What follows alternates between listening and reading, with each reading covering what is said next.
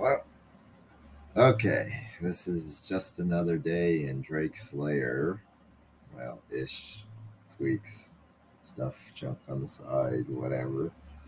Um, update vlog, I guess, last week of July. Not from the office. I meant to do it last week.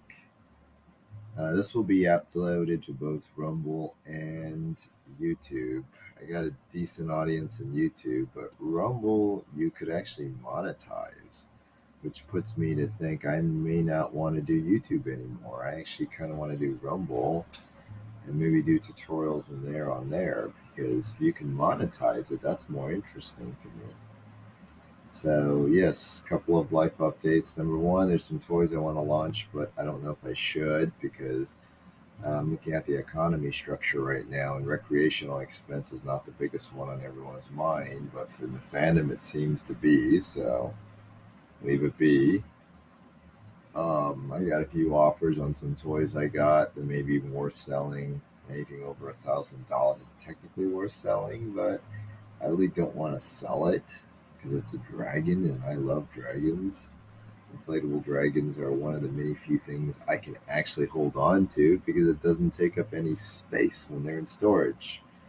Unlike statues, I've got one over here that still needs repair. I'm not getting any help from uh, what's his name. I'm probably going to take it back and just sell it off or whatever I could sell it off for. Someone can come by and pick it up for a hundred bucks, that's a hundred bucks in my wallet to cover for gas expense oh my gas is extremely high now and uh, not having a reversing gear i think bypasses the second gear.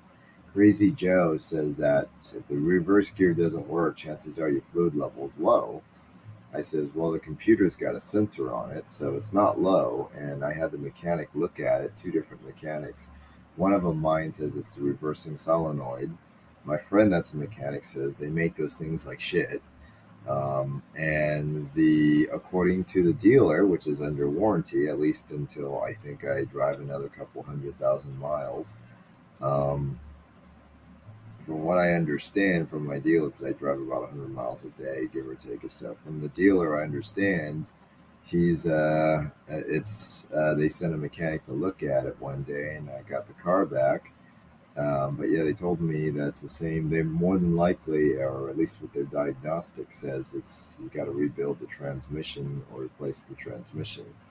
Replacing the transmission is probably the most expensive, but I don't care which way to do it because, according to my mechanic friends, um, it's actually pretty. It's a well-known issue. So, seeing the fact that I have at least a three-week waiting period, which could end up being three months. I haven't heard anything back from the dealer because I'm on week two to week three now since I started this debacle.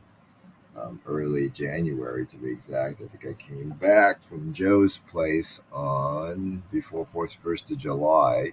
So one, two, I'm actually hitting almost three weeks now. So we'll see at the end of the month if we can bring it back in, and I'll probably be without a car for a few days as they rebuild the transmission, rebuild it, refluid it, all the usual to get to that one little solenoid that's inside the transmission.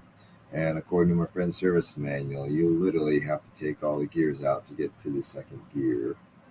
I think. I don't know how bad it is really at that point, but I do know it's a solenoid inside that I don't even know why something like this is not built hardened, but it could be just the engineering design of today.